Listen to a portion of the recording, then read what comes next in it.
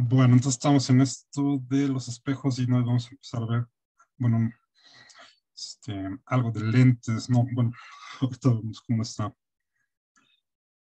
Pero creo que este,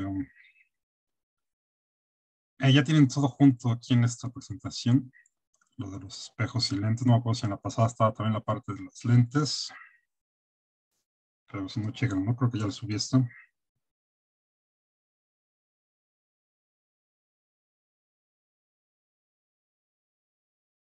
Bueno, entonces andábamos por aquí, ¿no? Ya hemos visto los espejos planos. Y ahora vamos a ver espejos curvos, que de hecho son este, esféricos, más bien, específicamente.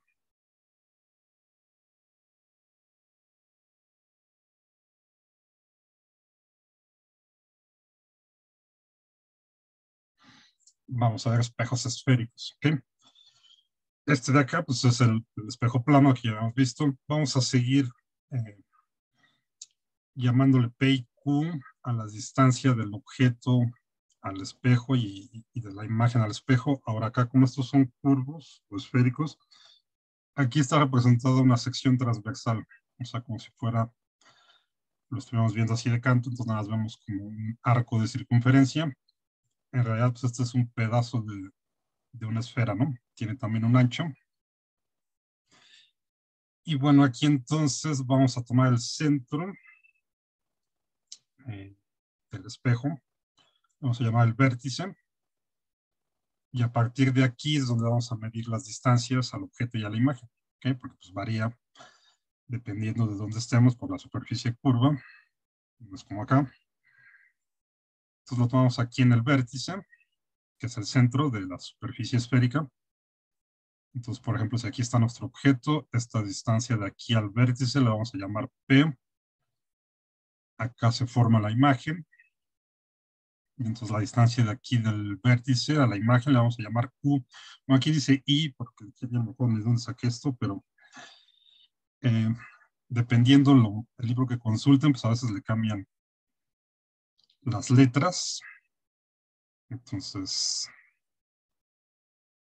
eh, aquí este, pues nosotros lo vamos a seguir llamando Q. ¿Ok?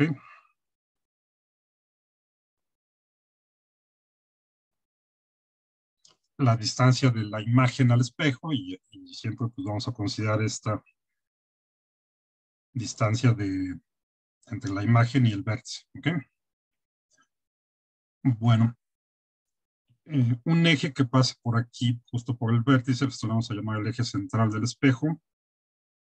Y de hecho, pues como esta es una parte de una, de una esfera, debe tener acá un centro. Y este de hecho pues es un radio. Acá pues vamos a tener otros radios de nuestra esfera.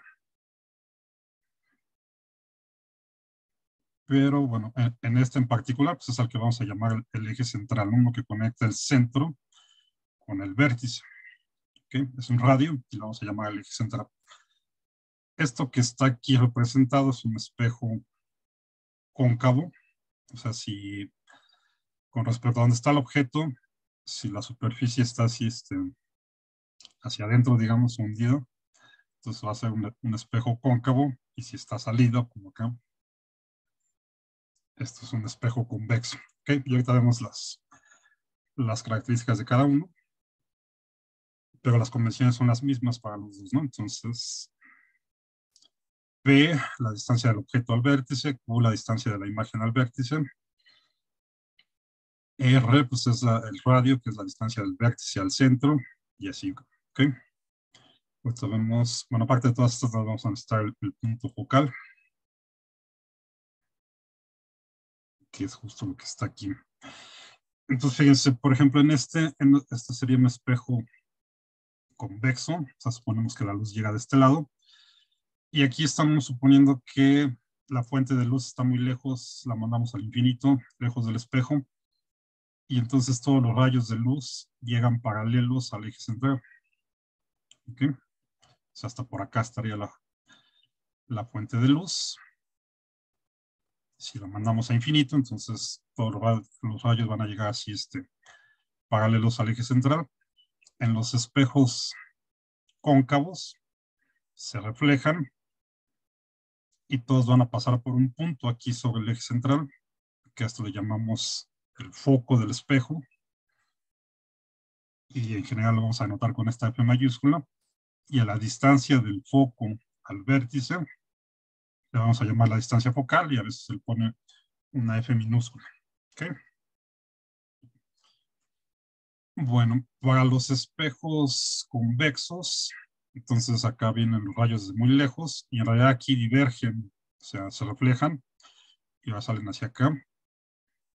Si estos los continuamos así este, en una línea imaginaria, por atrás del espejo, entonces sí van a converger acá en un punto que este va a ser el foco para el espejo convexo. Entonces, eh, para un espejo cóncavo, el foco está por delante del espejo, eso le llamamos un foco real. Acuérdense que siempre lo que esté delante del espejo le llamamos real, lo que esté atrás le vamos a llamar virtual. Para un espejo eh, convexo, entonces el foco es virtual, está por acá atrás. O sea, es como si la fuente de luz estuviera aquí y de aquí salen estos rayos. ¿no? ¿Ok? Bueno, igual también para, este, para el, convexo, la distancia del foco al vértice la vamos a llamar la distancia focal.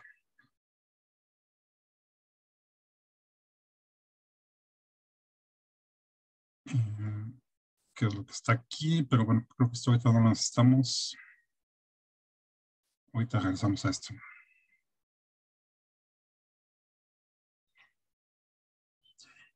Si tenemos una fuente de luz, esto de acá es para para ver dónde está el foco de los objetos, suponiendo que los rayos llegan de muy lejos y por eso vienen así paralelos al eje central. Igual podríamos pensar en tener una, una fuente de luz cerca del espejo. Por ejemplo, como aquí. Aquí nuestro objeto es de hecho la fuente de luz. Entonces, por ejemplo, aquí están pintados dos rayos nada más este que llega aquí al, espejo se refleja, pasa por acá. Este llega aquí al espejo, se refleja y pasa por acá. Pues aquí donde, en la intersección de estos dos, es donde, donde va a estar la imagen, ¿ok? Bueno, vamos a suponer que en el caso de que tengamos eh, una fuente de luz cerca del espejo, los rayos siempre van a tener un ángulo pequeñito con respecto al eje del espejo. ¿ok? Vamos a poner que tenemos aquí, este es un ángulo con, con el eje central. Y este también. Y vamos a suponer que estos ángulos son pequeños. Y a eso le vamos a llamar la aproximación paraxial. Y de hecho, aunque no tengamos una fuente de luz aquí cercana, de todas formas siempre vamos a suponer que estamos en esta aproximación paraxial. ¿Qué por esto de paraxial? De que es este eh, ángulos pequeños con respecto al eje central. Si no pasa eso, entonces eh, ya no convergen acá en, un solo punto. Si el ángulo entre el rayo de luz de una fuente que esté aquí cerca del espejo es, es grande con respecto al eje central. Si este ángulo es grande, entonces ya no van a converger en un punto y aquí vamos a tener algo que se conoce como, como aberración.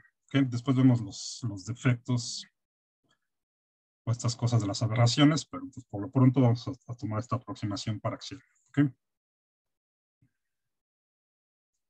Bueno. Y con eso entonces podemos llegar a la ecuación del espejo que acá está. Eh, hay que hacer un poco de, de álgebra, no mucho y realmente es pura geometría de cómo está esto. Entonces, fíjense, acá estamos,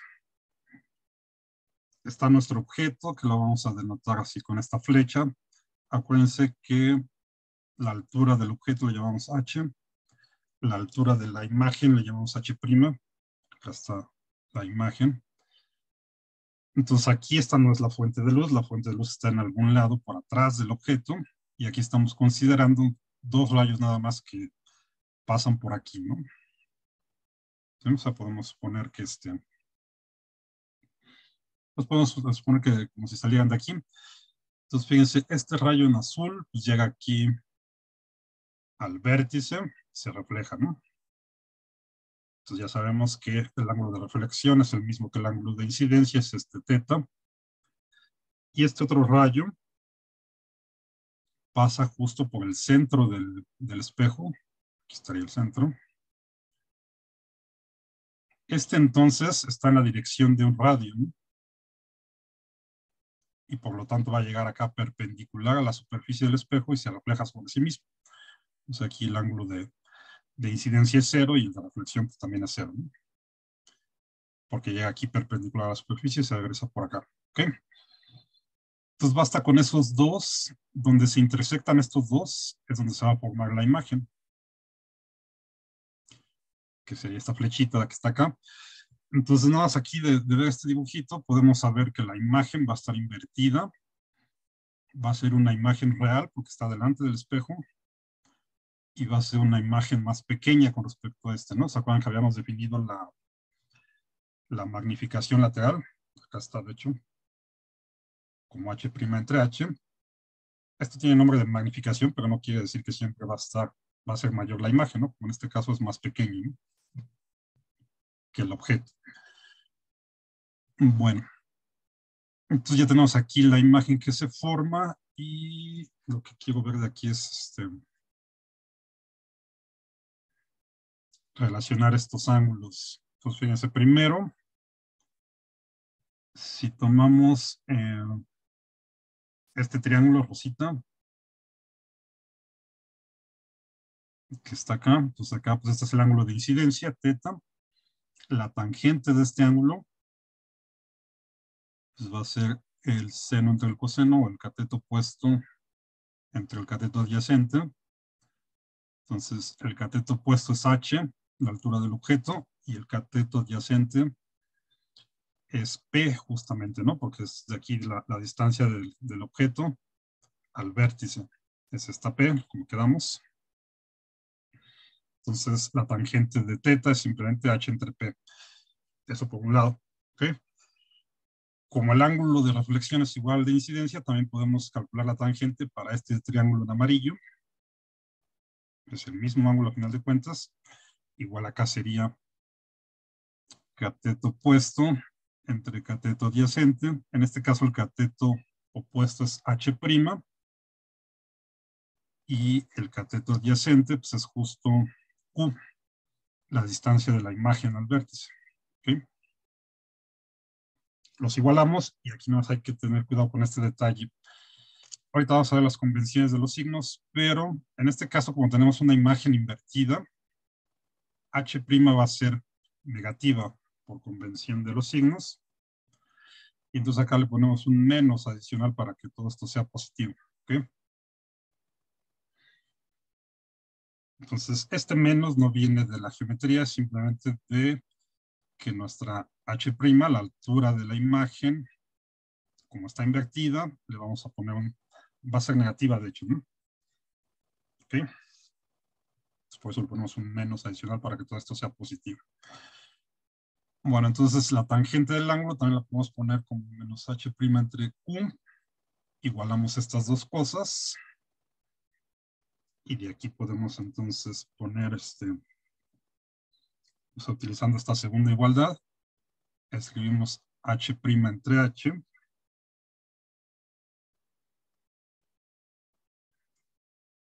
Va a ser igual a menos q entre p, ¿no?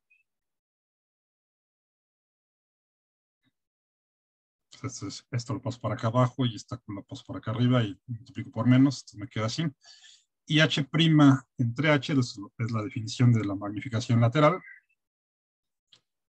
Entonces la podemos escribir en términos de las distancias de la imagen al vértice y del objeto al vértice, de esta forma, ¿no? Es otra forma de, de obtener la magnificación lateral, menos Q entre P, ¿ok? Bueno, eso es para este. Ahora también podemos calcular, podemos hacer lo mismo o algo análogo para el ángulo alfa de este triangulito que se forma aquí. Okay. Este ángulo pues es el mismo que este ángulo. Acá tenemos este otro triángulo verdecito. Vamos a sacar la tangente de esos dos ángulos, a ver qué pasa. Entonces acá el primero, para este triángulo verde que está acá, es este, la tangente, pues es el, cateto opuesto, que es H', entre la adyacente, que es esta parte de aquí nada más, y esta parte de aquí es justo eh, R, radio, porque este es el centro, entonces que del centro al vértice es un radio, menos Q, que es la distancia de la imagen al vértice, ¿ok? R menos Q nos queda justo este pedacito, que es el cateto adyacente, ¿no? Entonces simplemente H' entre R menos Q, con el menos porque H' es negativa, simplemente porque la imagen está invertida. ¿Ok? Entonces, eso sería la tangente de, alfa para este triángulo. Podemos sacar la misma tangente ahora para este triángulo de acá. El cateto adyacente, el cateto opuesto aquí es H y el adyacente es esta distancia, que ahora va a ser P, la distancia del objeto al vértice, menos el radio. ¿ok? A todo esto le quitamos el radio y nos queda justo esto que es el cateto adyacente. Entonces la tangente de alfa también la podemos escribir como h entre p menos r. Y luego simplemente dividimos otra vez h' entre h. Entonces esta r menos q pasa acá arriba. Y le ponemos el menos. Nos queda así esta parte de aquí, ¿ok?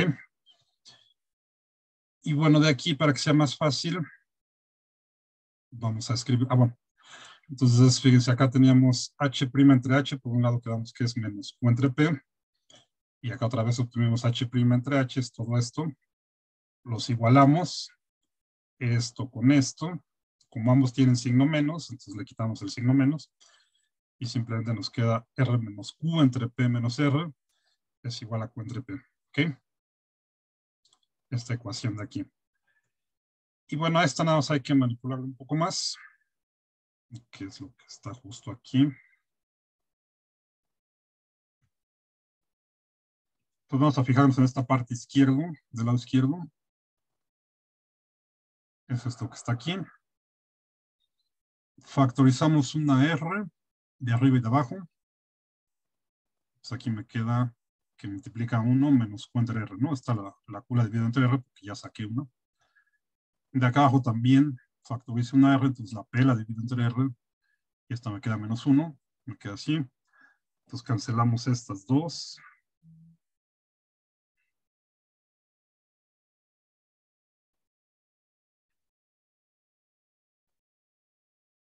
Nos queda así. Esto sabemos que es igual a Q entre P, o sea, esto está del lado derecho es lo mismo que ya teníamos. Simplemente acá reescribí el lado izquierdo. Y luego de aquí entonces... Eh, esto lo paso multiplicando acá. Y es esto que tengo acá abajo, ¿no? Entonces me queda 1 menos Q entre R del lado izquierdo es igual a Q entre P, que multiplica esto, ¿no? P entre R menos N. Y finalmente, no, para que se más bonito, dividen toda la ecuación entre Q. Entonces, del lado izquierdo, acá nos queda 1 entre Q menos 1 entre R, ¿no? Al dividir entre Q, pues se va esta. Del lado izquierdo me queda nada más esta parte. Y del lado derecho ya dividí entre Q, pues nada me queda 1 entre P. Eso lo meto acá en estos dos factores. Este con este se cancela, me queda nada más 1 entre R menos 1 entre P. ¿Ok? y de aquí pues ya nada más es acomodarla.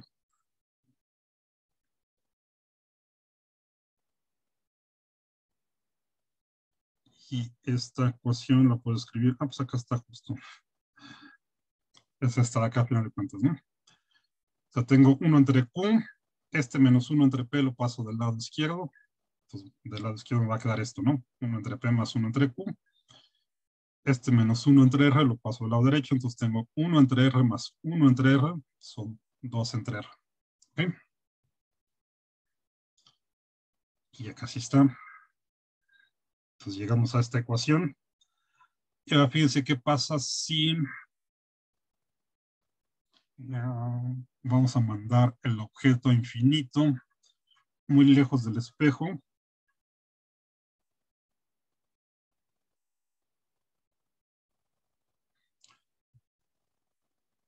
Si P lo mandamos a infinito, eso quiere decir que el objeto pues lo estamos alejando del espejo, ¿no? Mucho, lo estamos alejando mucho del espejo. Y entonces, si esto está muy lejos, entonces, por ejemplo, estos, estos rayos, pues van a llegar paralelos, ¿no? Es lo que pasaría acá, por un lado, pero de aquí, de la, de la ecuación a la que vimos, de la, la, ecuación a la que llegamos, si P es muy grande, si P tiende a infinito, entonces esto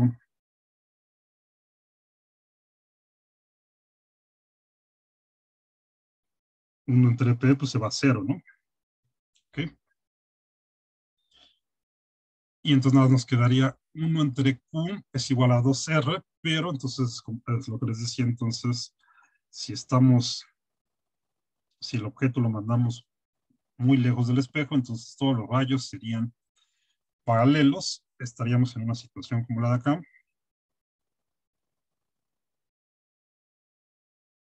Ok. Ya el objeto lo mandamos lejísimos, entonces todos estos rayos llegan acá paralelos. Y entonces, ¿dónde se va a formar la imagen? Pues aquí justo donde está el foco, ¿no? Ya el objeto está en infinito. Entonces acá donde van a coincidir todos estos rayos va a ser en el foco. Entonces en ese caso, ahí se forma la imagen. Y entonces Q va a ser igual al foco justamente, ¿no? Aquí andaba. Eh, entonces, en esta aproximación,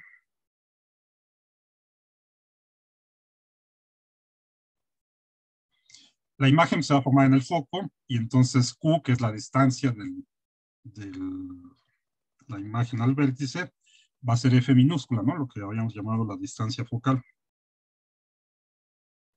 ¿Ok? Bueno. Eh, entonces nos regresamos a esta ecuación.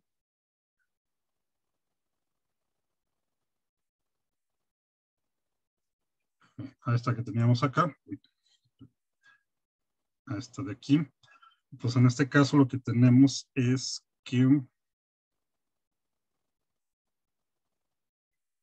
entre Q va a ser 1 entre F y esto va a ser 2 entre R, ¿no? Bueno, aquí ya lo puse todo amontonado, pero espero que se, se entienda. Y entonces simplemente le doy vuelta a esto y la distancia focal la puedo escribir como el radio entre dos, la mitad del radio, ¿no? ¿Sí? Entonces tomar esta aproximación es simplemente para relacionar este, este 2 entre R con, con la distancia focal. En esta aproximación pasa esto entonces, de la ecuación a la que llegamos, entonces esta Q es justo la distancia focal, 1 entre Q es igual a 1 entre F y esto es igual a 2 entre R, que que ya teníamos. Volteamos esta ecuación y entonces la distancia focal es un medio del radio, ¿no? Facilísimo. Nos regresamos a la ecuación general, esta de acá. Y si ya llegamos a esto, que la distancia focal es la mitad del radio, acá lo tenemos al revés, entonces esto es 1 entre la distancia focal. esto de aquí es el inverso de la distancia focal. ¿ok? Entonces, en vez de poner 2 entre R, lo ponemos como 1 entre F y ya está. A esto le vamos a llamar la ecuación del espejo. Aquí está hecho para eh, este espejo cóncavo. Se, puede hacer un análisis análogo para el convexo y nos va a dar exactamente la misma ecuación. Entonces, esto es válido para cualquier espejo esférico.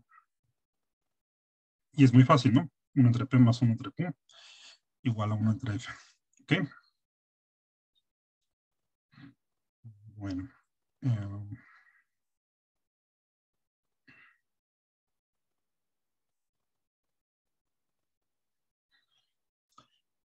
aquí son ejemplos de, de, lo que pasa con un espejo convexo. Entonces, igual, fíjense, necesitamos aquí dos rayos. Ahorita vemos más lo que vamos a llamar los rayos principales. Está nuestro objeto aquí, por delante del espejo, y basta con que pintemos dos rayos. Uno que va paralelo al eje principal.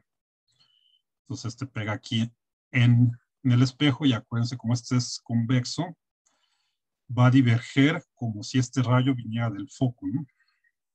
¿Sí? Eh, para saber aquí cómo dibujar este, el rayo reflejado, simplemente lo continúan acá como si viniera del foco.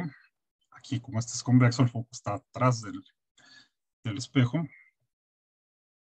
Y esta va a ser la dirección de este, ¿no? Lo continuamos para acá atrás. Eh, pintamos otro rayo que vaya al centro de la circunferencia, al centro del espejo, o sea, al centro de la esfera, más bien, no circunferencia. Entonces sería este, obviamente aquí pues pega y se refleja, pero como este iría dirigido acá, pues también está en una dirección del radio. O sea, llega aquí perpendicular al espejo y se refleja sobre sí mismo, ¿no? Este también lo continuamos hacia acá, como si hubiera salido del centro, y donde se intersectan estas dos, que en realidad son las continuaciones de esto, a diferencia del espejo eh, convexo, donde podíamos ver directamente la intersección de los rayos, aquí los que nos fijamos es en la intersección de la continuación de los rayos reflejados, ¿ok? Pero igual, acá donde se intersectan esas continuaciones es donde va a estar la imagen. Bueno, entonces en este caso, la imagen es virtual porque está atrás del espejo, está derecha y es más pequeña también.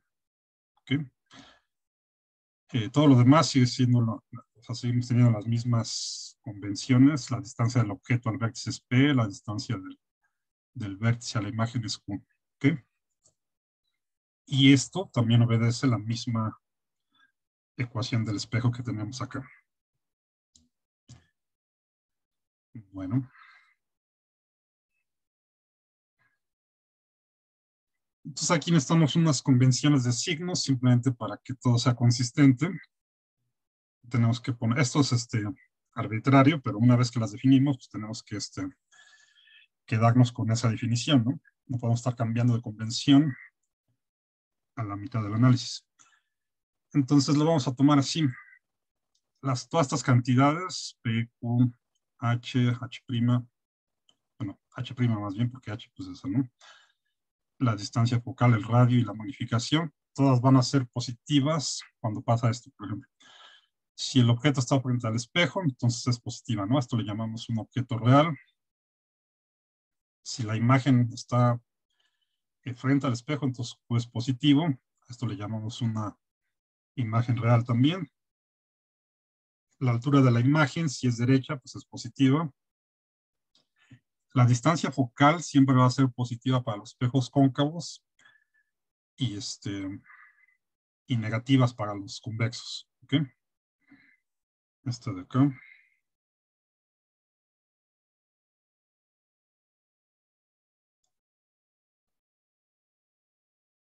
O sea, la distancia del foco al vértice la vamos a tomar positiva para los espejos convexos, porque está del, del lado, este, está frente al espejo, digamos. Para los, los convexos está atrás del espejo, entonces esta la vamos a tomar como negativa, la distancia focal. ¿Ok? Y... ¿Cuál otro tenía? Ah, bueno, entonces estamos aquí. Si la imagen es derecha, entonces es positiva. Si la imagen está invertida, le ponemos un, es negativa. La distancia focal es positiva para los espejos cóncavos, negativa para los convexos.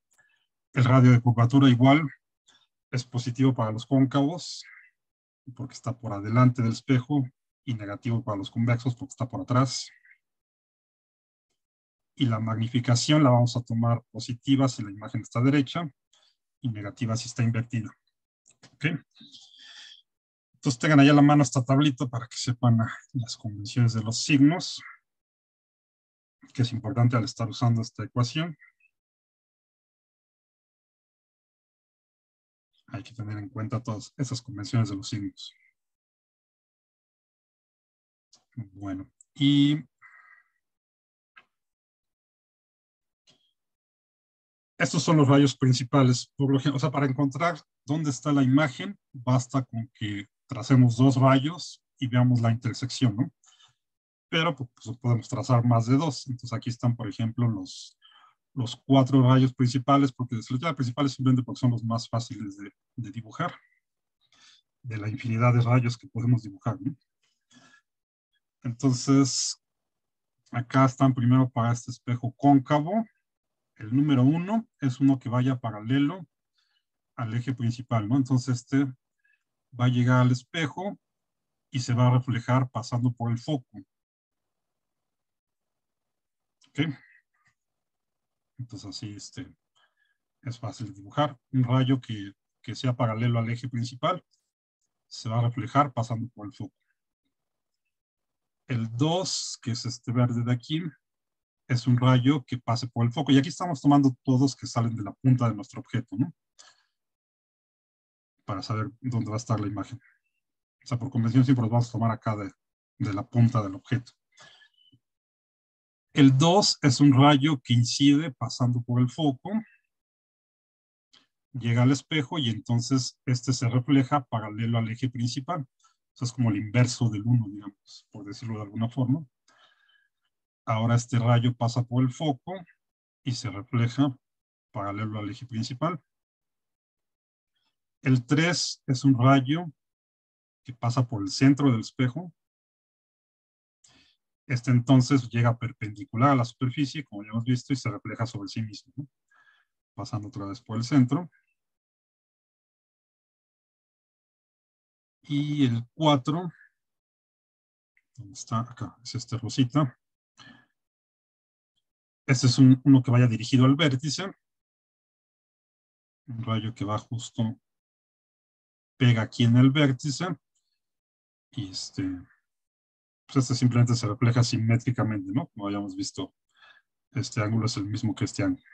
¿Ok? Una vez que empecemos a hacer ejercicios con esto, con espejos, pero sobre todo con las lentes, entonces pueden dibujar algunos de estos cuatro rayos, no es necesario que dibujen todos, basta con dos. El punto donde se intersectan, pues es donde va a estar la imagen. Entonces, dependiendo de la situación, a veces es más fácil dibujar unos que otros.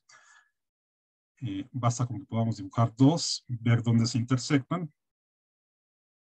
Y entonces ahí es donde va a estar la imagen desde el eje a donde se intersecte, ¿no? Entonces, en, este caso, pues tenemos otra vez una imagen real, invertida y más pequeña. Esas son las, las características de la imagen. Bueno, esos serían los rayos principales para los espejos cóncavos. Para los convexos es algo parecido, ¿no? Solo hay que tener en cuenta que ahora todo lo continuamos por acá atrás del espejo, ¿no? El rayo 1, entonces, es un rayo que vaya paralelo al eje principal este se va a reflejar como si viniera del foco, ¿no? Lo continuamos acá y es como si hubiera salido del foco. El 2 es uno que vaya dirigido, ¿dónde está el 2? Uno que vaya hacia el foco, es este el verde, es como si lo hubiéramos dirigido hacia el foco, entonces va a reflejar paralelo al eje principal, ¿no? Es el caso análogo a estos dos de acá. El 3 es uno que vaya dirigido al centro. Entonces este igual está en la dirección de un radio. Eso quiere decir que llega aquí perpendicular y se refleja sobre sí mismo. Es como si fuera acá dirigido al centro. Como si hubiera salido del centro, entonces se refleja hacia acá. Eh, acá todos estos los continuamos, ¿no? Tanto el 1 como el 2, como el 3, todos los continuamos hacia acá. Y el 4 es uno que vaya dirigido al vértice, pues este igual se refleja simétricamente, de acuerdo a la, a la ley de reflexión. Se refleja simétricamente, igual este lo continuamos acá hacia atrás, ¿no? Entonces aquí en este, en los espejos convexos, todos estos rayos principales los continuamos hacia atrás, donde se intersectan es donde va a estar la imagen. Y en este caso, en particular que tenemos aquí, la imagen es derecha, es virtual porque está atrás del espejo y es más pequeña, ¿no? Es la característica en este caso. Bueno. Mm. y aquí hay unos casos particulares para los espejos cóncavos y convexos. Primero para los convexos. Aquí fíjense si el objeto está eh, por atrás del, del, centro de curvatura y el espejo es cóncavo, entonces la imagen siempre va a tener estas características, va a ser real, invertida y más pequeña. O sea, tiene un espejo cóncavo y el objeto está por atrás del centro de curvatura del espejo. Entonces, cuando pasa eso, pues siempre vamos a tener estas características de que la imagen va a ser más pequeña, invertida y real. Ya las características particulares, pues habría que utilizar la ecuación o hacer el dibujo para ver exactamente cuál es la magnificación lateral y eso, ¿no? Pero esto siempre lo vamos a tener así cuando pasa esto, ¿no? Que el objeto está antes del centro de curvatura. Y aquí están dibujados tres de estos rayos, nada más para que vean. Este, por ejemplo, es el uno que va paralelo al eje principal, se refleja pasando por el foco. Este que va este, dirigido al foco, pasa por el foco, se refleja paralelo al eje principal. Y este que pasa por el centro de curvatura, se refleja sobre sí mismo, ¿no? Acá está la intersección de los tres, entonces aquí está la imagen.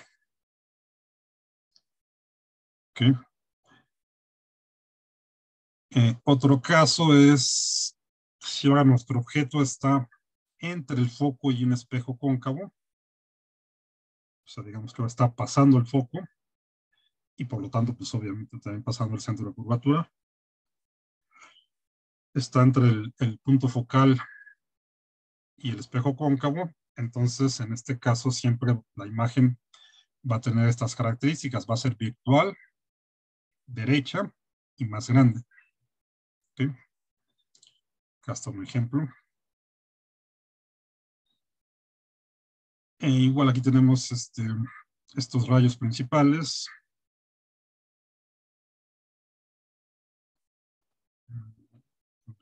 ¿Dónde están? Acá está este.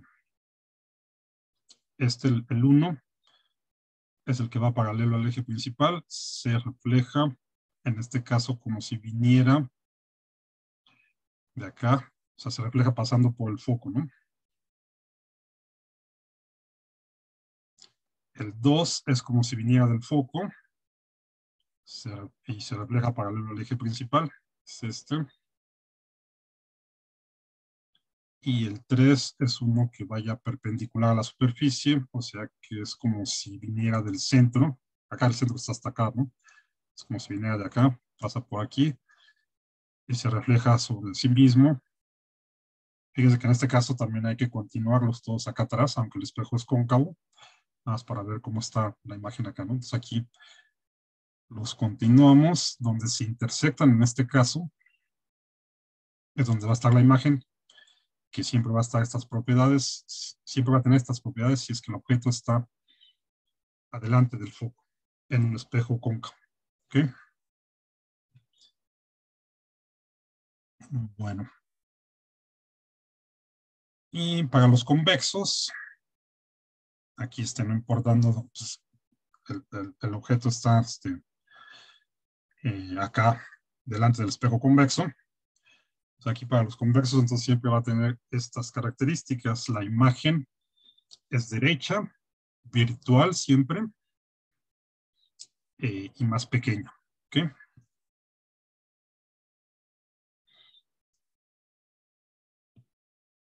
Y acá se a ver los rayos principales. Este que vaya paralelo al eje principal. Se refleja como si viniera del foco. Continuamos acá atrás. El 2 es uno como es un rayo que está dirigido hacia el foco. Lo continuamos aquí, este se va a reflejar paralelo al eje principal.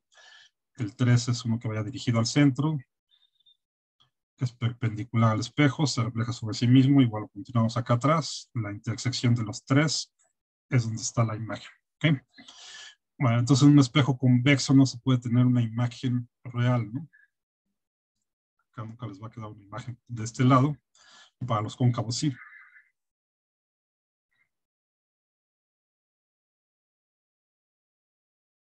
Y bueno, esos son los, los tres casos este, principales de los espejos cóncavos y convexos, ¿ok? Bueno. Eh,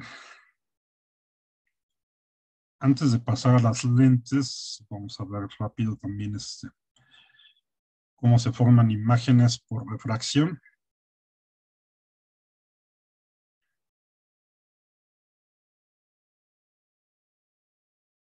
Eh, entonces, fíjense, aquí es como si tuviéramos nuestros dos medios con sus índices de refracción N1 y N2. Este, este medio de acá pues tiene esta superficie eh, curva, ¿no?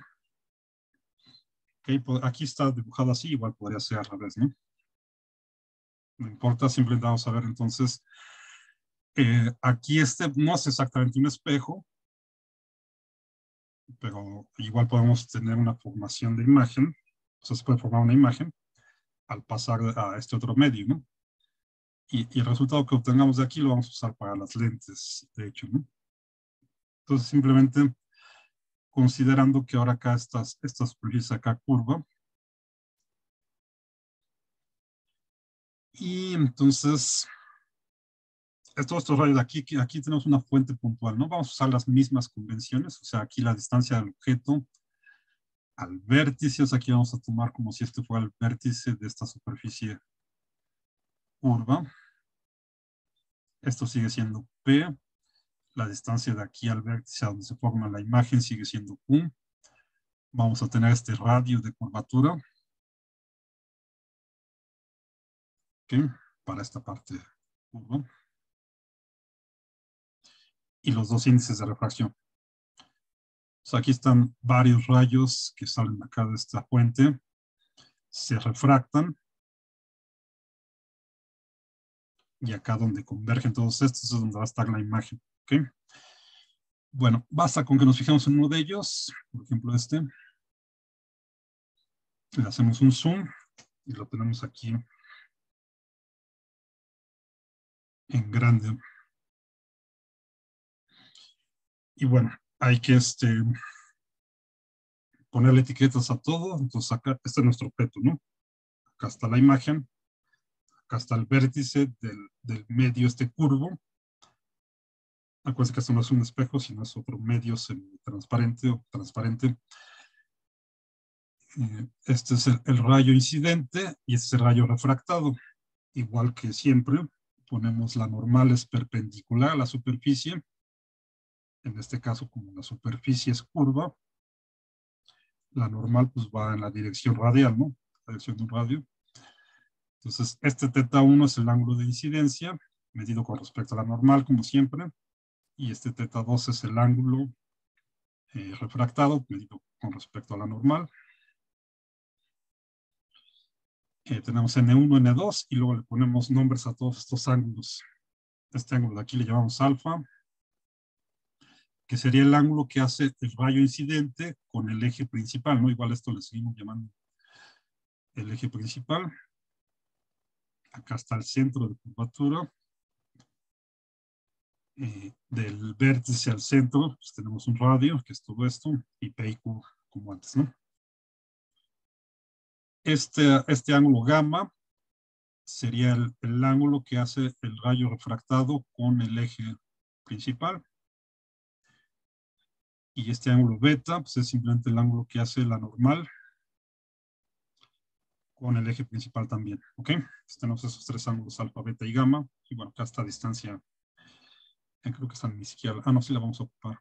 Esta distancia D es la distancia del eje principal al punto P aquí donde está, donde sucede la refracción. ¿Ok? Bueno, entonces de la ley de Snell, pues tenemos esto. Como siempre, n1 por el seno de teta 1 es igual a n2 seno de teta 2.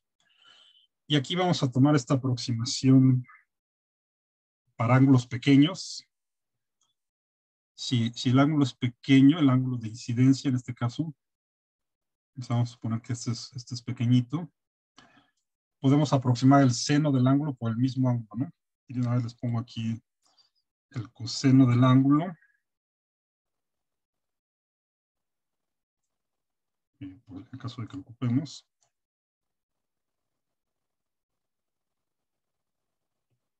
Este se aproxima a 1, ¿no? O sea, es como si, si tomamos este límite, en el límite en el que teta tiende a 0, el seno del ángulo se aproxima al, puro ángulo y el coseno del ángulo se aproxima a 1. ¿no?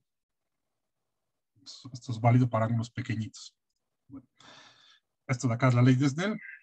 Entonces, aplicando esta aproximación de ángulos pequeñitos, nos quitamos el seno y ponemos el puro ángulo. N1 por teta 1 es igual a N2 por teta 2. Y luego acá, igual de la pura geometría, podemos relacionar todos estos ángulos. Por ejemplo, el teta 1 con alfa y beta de esta forma, ¿no? Si nos fijamos en este triángulo, entonces, por ejemplo, tenemos este otro ángulo aquí.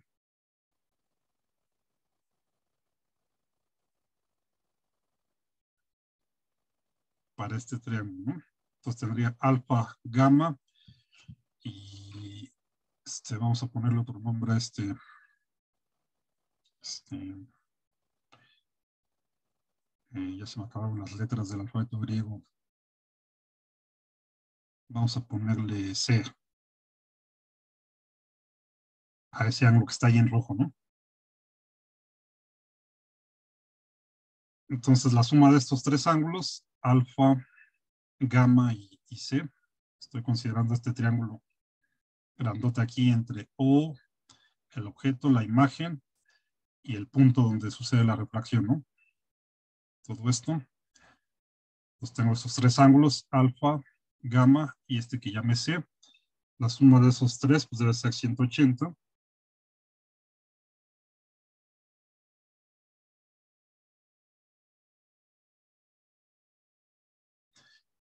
Pero Este,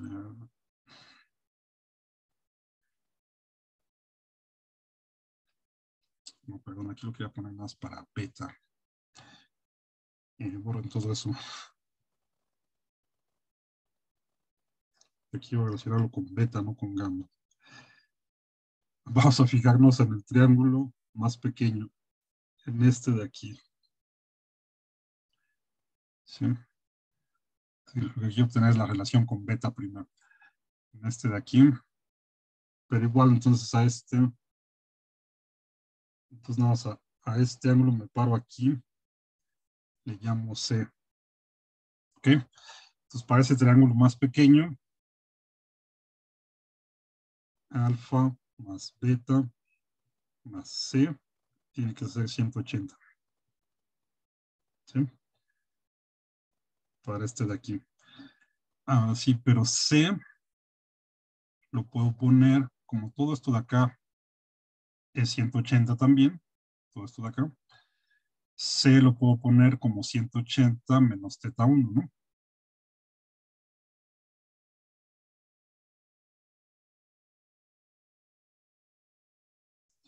Entonces simplemente sustituimos aquí. Más 180 menos teta 1. Todo esto tiene que ser igual a 180. Cancelamos este y este despejamos teta 1 y teta 1 es simplemente alfa más beta. ¿Ok? Que es lo que está aquí. Entonces escribimos teta 1 en términos de esos dos ángulos y podemos hacerlo análogo ahora para este triángulo de acá. Entonces en vez del grandote más bien tenía para este y luego este de aquí, ¿no?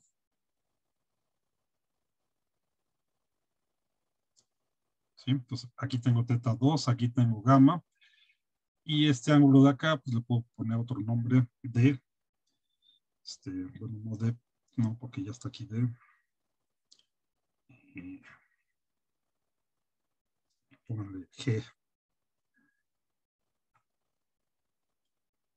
Y hacemos lo análogo, ¿no? Teta 2 más gamma. Y no lo voy a escribir.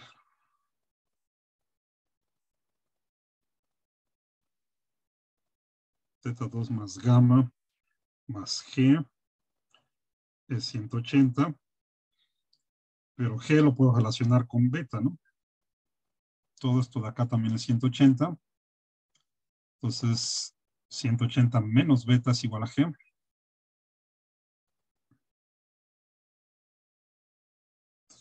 Teta 2 más gamma más 180 menos beta igual a 180. Cancelamos otra vez el 180 despejamos teta 2. Entonces teta 2 va a ser igual a beta menos gamma. Bueno, acá está despejado beta, es lo mismo, ¿no? Beta va a ser igual a teta 2 más gamma. ¿Ok? Pero todo esto sale de aquí. Bueno. Ya que tenemos esto, lo sustituimos acá lo que venía de la ley de Snell con la aproximación de los ángulos pequeños. Y entonces y luego nada más hay que hacer un poco de álgebra, entonces aquí ya, ya no tengo, ah, no, sí tengo espacio. Vamos a ponerlo aquí. O sea, tengo teta 1, digo N, N1 por teta 1, pero teta 1 es alfa más beta. Eso tiene que ser igual a N2 por teta 2, pero teta 2, ya despejado de aquí, pues es beta menos gamma.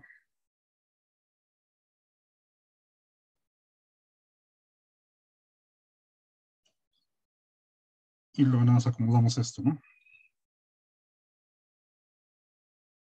N1 por alfa más N1 por beta es igual a N2 por beta menos N2 por gamma.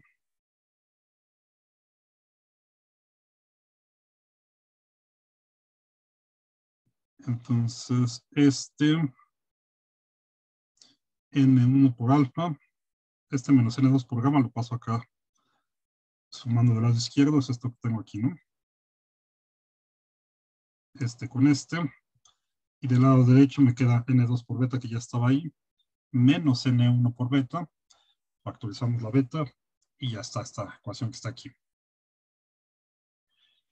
Bueno, ¿y para qué quería toda esta cosa? Simplemente para escribir todos estos ángulos, alfa, beta y gamma, para escribir la, tangente de todos estos ángulos. Entonces vamos a regresarnos acá. La tangente de alfa. Ahora si nos fijamos en este triángulo rectángulo. Entonces, el cateto opuesto entre el cateto adyacente, ¿no? El cateto opuesto es D y el cateto opuesto es P más un cachito. Nos falta aquí este cachito, ¿no? Que lo vamos a despreciar. ¿Ok? Entonces, por eso está así aproximadamente. La tangente del ángulo es de entre P.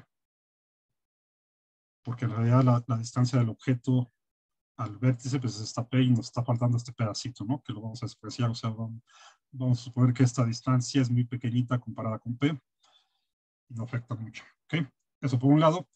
Por otro lado, con la aproximación esta de ángulos pequeños, la tangente que es seno entre coseno, el seno es nada más el ángulo, el coseno es 1, entonces la tangente es simplemente el ángulo también. Entonces la tangente de alfa es simplemente alfa y es igual a d entre p. Hacemos lo análogo para beta. Con este triángulo rectángulo de aquí.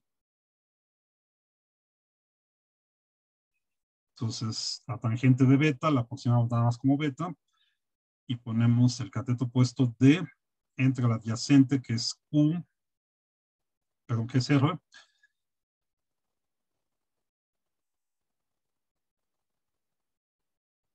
Igual acá nos estamos pasando por un pedazo aquí, ¿no? O sea, R es todo esto. En realidad el adyacente sería R menos este cachito de aquí, que también lo vamos a despreciar y vamos a tomarlo como si fuera todo R, ¿no? Entonces la tangente de beta es beta y lo escribimos como de entre R.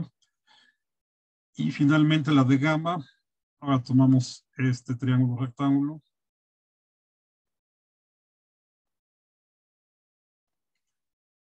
Y la tangente de gamma la aproximamos por gamma. Es el cateto opuesto entre la adyacente, que sería esto, pero lo vamos a tomar como Q. Pues todo esto, la distancia de la imagen al vértice, no estamos pasando por este pedazo, igual lo despreciamos y lo escribimos como de entre Q. ¿Ok? ¿Y de qué nos sirve todo esto entonces? Eh, finalmente esto lo sustituimos aquí. Esto que encontramos para alfa, para gamma y para beta lo sustituimos aquí. Entonces nos va a quedar así. Y así ya se me acabó aquí el espacio. N1 por alfa, pero alfa es D entre P más N2 por gamma, pero gamma es D entre Q. Eso es igual a N2 menos N1 por beta, pero beta es D entre R. ¿Ok? Escrito de esta forma, entonces como la D aparece en todos lados, no la quitamos y ya. Eh, esto es justo la ecuación que está acá abajo, ¿no? Este es el análogo de la, ecuación del espejo para una superficie refractante curva, ¿no?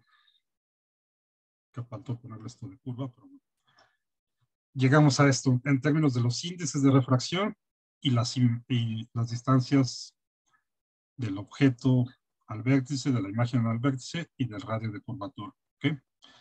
Está metido en una forma más o menos sencilla. Esta no la vamos a ocupar tanto, porque estar formando imágenes con estas superficies pues no es este, de mucha utilidad. Pero la vamos a ocupar para llegar a la ecuación de las lentes. ¿Ok? Bueno, entonces hasta ahorita tenemos eh, la ecuación del espejo, aquí ya habíamos llegado. 1 entre P más 1 entre Q es igual a 1 entre F, es muy sencillo de acordarse. La ecuación está para las superficies refractantes y a partir de estas vamos a construir una lente. O sea, aquí estas es otro medio que podría ser, por ejemplo, este, un pedazo de, de plástico, de lucita o de alguna cosa. Eh, fíjense, por ejemplo, si, si acá lo cortamos de esta forma, aquí estamos suponiendo pues, que, todo el medio sigue acá, ¿no? Pero si cortamos nuestro pedazo de, de plástico, podríamos tener algo así. Ok. Entonces acá este tiene un radio de curvatura grande. Vamos a pensar que que tenemos un radio de curvatura más pequeño, cortamos otro pedazo por acá del material que tengamos aquí. Y esto a final de cuentas va a ser una lente. Entonces, como si tuviéramos, para saber cómo se van a formar las imágenes con las lentes, es como si tuviéramos una doble refracción. Va a pasar este, la luz pasa por este lado de la superficie, se refracta, mm, está dentro del medio y luego pasa por este lado de la superficie de regreso al aire, a donde estemos, se vuelve a refractar. Y para eso vamos a ocupar esta ecuación, ya que sabemos, ya que llegamos a esta ecuación para la formación de imágenes en la superficie refractante, hay que ocuparla dos veces y de ahí va a ser fácil llegar a la ecuación de la lente. ¿okay? Bueno, y esta es una posibilidad nada más. En realidad lo podría cortar como yo quisiera. Entonces podemos tener lentes así. Eh, y combinaciones, por ejemplo, así y así. Este, así y así. Entonces, se fijan, todas estas son como combinaciones de superficies cóncavas con convexas, ¿no? Aquí tendríamos una superficie eh, convexa, una superficie convexa. Acá tenemos dos superficies cóncavas. Aquí es una convexa, una cóncava y una convexa. Y acá al revés, una convexa y una cóncava. Bueno, entonces, a partir de esto, pues vamos a llegar entonces a la ecuación de la lente, que ya es muy fácil, ya con esto, o sea, ahorita, esta, ya hicimos lo pesado de la teoría. Sabiendo esto, ya eh, podemos llegar a la ecuación que describe lo que pasa cuando pasa dos superficies refractantes, que es, va a ser nuestra definición de una lente. Y ya, podemos empezar a ver aplicaciones. ¿okay? Bueno, entonces, este, vamos a dejarlo aquí hoy para... Pueden, checar esto de las convenciones de los signos para las superficies refractantes, pero eh, lo revisamos con detalle en la siguiente clase. ¿Okay? Y a partir de aquí entonces vamos a, a definir las lentes delgadas y a partir de ahí los aparatos ópticos. ¿Okay? Sí. Bueno, entonces vamos a detenerlo aquí.